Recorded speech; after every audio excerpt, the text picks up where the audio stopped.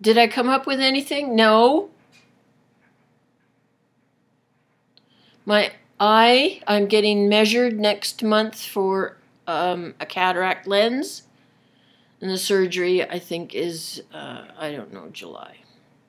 But after the measurement, maybe they'll give me a,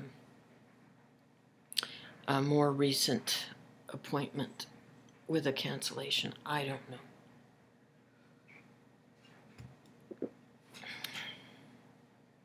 Maybe we could just sit here and stare at each other for a while. Really, I have nothing. Yes, I do. Do you know the series, the TV series, Happy Valley? It's British.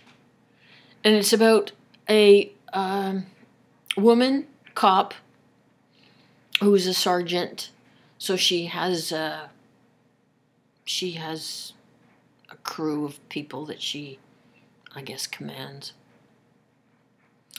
And it is extraordinary. We just finished watching season two. If you can find it, watch it.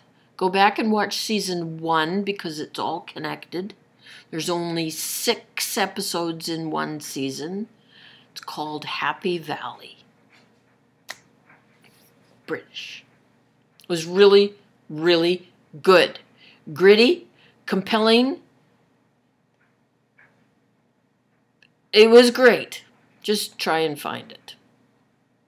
I had another thing like that that I was going to tell you about a movie. What was the movie? Was what they call, you know, those sleeper type movies that people don't generally go and see, but all of a sudden it becomes, you know, oh, geez, we should have seen this before. It's really good.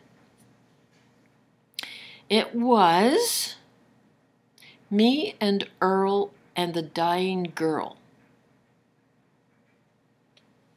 It's a coming of age type story, and it's very quirky, but it sort of was a little bit haunting. It was very good. I'm going to leave this relatively short. Um, I'll try and be back sooner rather than later. Saying hello to all of you. David, I know I owe you a message.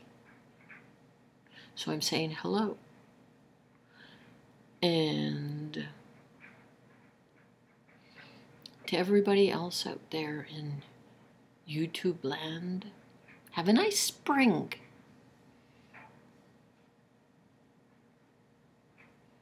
Enjoy it. That's it, that's all.